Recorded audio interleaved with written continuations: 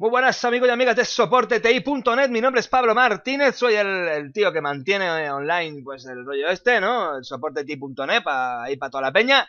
Y bueno, pues aquí estoy hoy pues mostrando la tienda en primer plano, porque me la tenéis un poquito dejada en las últimas semanas, ¿de acuerdo? Entonces es necesario pues un poquito de colaboración para poder renovar este mes los servidores. A ver si os animáis, ¿de acuerdo? Para acceder a la tienda, soporteti.net, clicáis en la tienda, venís aquí y aquí en videotutoriales, pues ya lo tenéis todo en categorías y todo chachi piruli y ¿de acuerdo? Bien, vamos a seguir con PowerShell y vamos a empezar poquito a poquito. Estábamos comentando hace, hace un momentito eh, eh, en Facebook, ¿no? Bueno, los que seguís en Facebook, en facebook.soporteti.net, pues si queréis ver PowerShell, si no, ¿qué tal? Y digo, bueno, pues vamos a empezar poco a poco.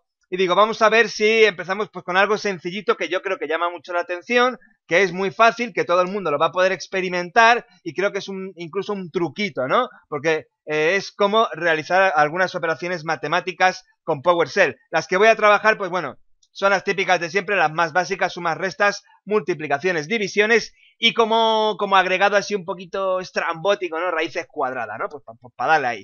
Eh, antes de seguir, quiero que quede muy claro que mi nivel de matemáticas es equivalente a mi nivel de, de, escritura, ¿no? De lenguaje, ya sabéis que es bastante patético, incluso mi nivel en las matemáticas se podría comparar con mi nivel de inglés, ¿de acuerdo? El que me conoce ya sabe eh, entonces mi nivel de matemáticas a qué altura está, ¿de acuerdo? Sótano, sí nivel de sótano. Bueno, vamos para allá. ¿Cómo podemos realizar operaciones matemáticas desde PowerShell? Porque claro, esto no va a ser tal que 2 más 5 y pincharle a enter, ¿no? Esto, el PowerShell no es una calculadora, es un entorno de scripting, ¿vale? Es, una cosa potente. Esto no es el, Windows Calc, ¿vale? O sea, para hacer esto, te abres un calc y aquí, pues 5 más 2, 7 y punto. Esto no. O sí. Vamos a darle a enter y a ver qué sucede. Fijaos, ¿eh? He puesto las letras bien grandes además para que veáis bien el resultado. Pues, bueno, pues sí, vale, sí, eh, también funciona rollo calculadora. No hace falta dejar espacios, ¿de acuerdo? Yo lo he dejado, el resultado se está mostrando aquí, ¿eh? Yo lo he dejado pues un poquito para que veáis eh, pues el espacio, para que veáis bien la operación, ¿no? Bien, voy a limpiar pantalla y, por ejemplo, una resta, ¿cómo sería? Pues 10 menos 7, por ejemplo. Pues 3. Así del tirón, del tirón, sí, sí. Luego incluso podemos hacer cosas, ¿no? Como 5 más 6 menos 70 eh, más 127, por ejemplo. Lo haces y esto te hace toda la movida, 5 más 6 menos 70 más 127, ¿de acuerdo? Y te da un resultado ahí. Bien, tema de las multiplicaciones, pues sería lo mismo. 6 por 6, 36. Bien, se ha estudiado las tablas de multiplicar. Eso es un punto, ¿eh? El PowerShell se sabe las tablas de multiplicar. Algo más difícil. Eh, 36 partidos 6. Pues 6. Tío, que la ha acertado también. Que esa yo me es verdad. Vamos a verificar con la... No, es broma, es broma. Bien, bueno, pues como vemos, así podemos hacer algunas eh, operaciones sencillitas. Luego también podemos, por supuesto, pues tirar de 3 por 3 más 2 por 5, por ejemplo, ¿no? O dejar los espacios esto dice que es 19, no sé cómo ha llegado a esa conclusión, ¿no? Pero es lo que, es lo que dice, ¿no? Pues hombre, teóricamente ha hecho un 3x3, un 2x5 y ha sumado ambos resultados, ¿de acuerdo? Si no quisiéramos que esto fuera así, pues podríamos poner 3 por, abrimos paréntesis, 3 más 2, cerramos paréntesis y lo multiplicamos por 5. Aquí ya se lo toma de otra manera. ¿De acuerdo? Pues suma esto y lo multiplica por todo ahí, plan pachanga y tal, y da ese resultado. ¿De acuerdo? Con las divisiones, más de lo mismo, más de lo mismo. 10 partido 2, pues 5. Así de sencillo podemos hacer cálculos matemáticos con PowerShell. Que nunca se sabe que tú a lo mejor estás ahí, eh, yo qué sé, programming de Word, no sé cuánto, y te viene el chiquillo, papi, papi, ¿cuánto es? Espérate un momento, muchacho, eh, ¿cuánto es 475 más 642? Pues tú lo metes, ¡pam! tiras al enter, ¡taca! Ahí lo tienes, tío. ¿eh? Ahí lo tienes. ¿eh? 11, 11, 17 o 1117, como queráis. ¿Vale? Genial. Podemos seguir complicando un poco la movida, ¿no? Eh, rollo, 8 por 4 menos 5, cerramos paréntesis, espérate que el primero ya lo he puesto cerrado, es que lo tengo con mala leche, a ver, y al final, más 4 por 6, eh, y esto, eh, esto pues lo dividimos, por ejemplo, por 4, a ver que lo ponga, más 5 por 2. Qué movida, espero que nos haga un número muy grande, a ver si no va a caber en la pantalla. 28,71, 42, 85, 79, 42, 85, 7. O sea, te da unos cuantos decimales, ¿eh? Para llenar el folio. Y bueno, pues así ya hemos visto cómo podemos hacer las operaciones basiquitas, ¿vale? Los espacios, repito, los pongo yo porque a mí me da la gana, ¿eh? No es necesario. O sea, aquí puedes poner 8 por 5 más 2 menos 4 eh, dividido eh, 7 menos 5 y cierras paréntesis, se lo tiras así del churro y mira, me ha caído un número entero, ¿sabes? Que entero quiere decir que, está completo, que no le faltan trozos al, al número. Qué chiste más malo.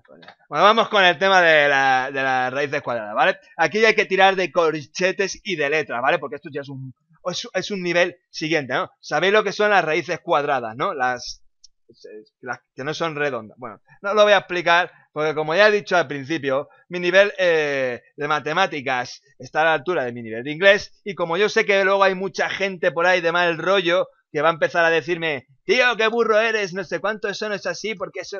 ¿eh? Como no quiero que me ataque la comunidad de matemáticos eh, del planeta, pues mejor me voy a estar quieto. Bueno, aquí estoy poniendo esto yo, por ejemplo, ¿vale? Voy a tirar con la raíz cuadrada de 100. Todos conocemos que... Todos sabemos que la raíz cuadrada de 100 es 32, entonces como es un, uno que conocemos nosotros, es el que yo lo voy a usar, ¿vale? Entonces, bueno, simplemente hay que ponerle System Math, ¿no? Es como decirle, tronco, mm, eh, vamos a hacer una operación matemática, ¿eh? Dos puntos, dos puntos, ¿vale? Cuatro puntos en total, si los sumamos todos. Y luego SQRT, que me imagino que esto vendrá de Squared... Eh, yo que sé cómo se dirá raíz en inglés, take, take, time, yo que sé, tummy, como sea. Y luego entre paréntesis el número del cual queremos calcular la raíz cuadrada. Como ya he comentado, sabemos todos que la raíz cuadrada de, 100 es 36, así que, bueno, pues ha dado 10, no sabemos por qué.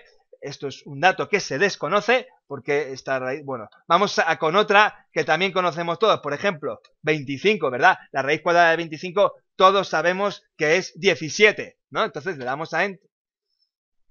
Bueno, como sabéis, eh, ya he comentado y como estáis viendo, las raíces cuadradas no son lo mismo, ¿de acuerdo? Bien, Limpiamos pantalla, porque alguien puede decir, vale, muy bien, tío, estás con las, con las raíces cuadradas, ¿no? Con el, el system punto match, ¿vale? Entre cochetes, luego dos puntos, dos puntos, en total cuatro puntos, ¿vale? Un punto y otro arriba, un punto y otro arriba, y luego aquí, pues, SQRT, ¿de acuerdo? Sabemos lo que significa. Y, por ejemplo, vamos a poner la de 36, y si queremos seguir dándole a esto, pues, más vueltas, pues le podemos decir, a esto le vas a sumar 6, ¿de acuerdo? Y lo vas a dividir entre 2, ¿vale?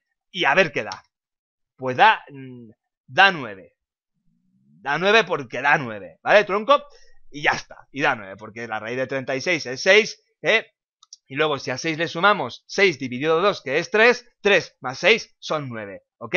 Si no, pues habría que estar como antes, eh, eh, rollo paréntesis y tal. Esto no lo he probado, aquí es ese momento del vídeo en el que me la estoy jugando por tratar de haceros la gracia y no sé si me va a dar eh, eh, pues no sé, no sé lo que me va a dar, porque si esto da 6, si lo sumo 6 y lo divido entre 2, pues no, no mola. Entonces, lo que voy a hacer es que le voy a sumar 8, para que dé otra cosa, ¿vale? Pues si no va a dar, ¿eh? Vale, pues 7, efectivamente. Raíz cuadrada de 36 es 6, más 8, 24, partido 2, 7, ¿eh? Lo que yo estaba comentando desde el primer momento. Y de esta forma tan curiosa y tan eh, interesante, pues podemos hacer algunas... Eh, operaciones matemáticas, ¿no? Matemáticas, ¿eh?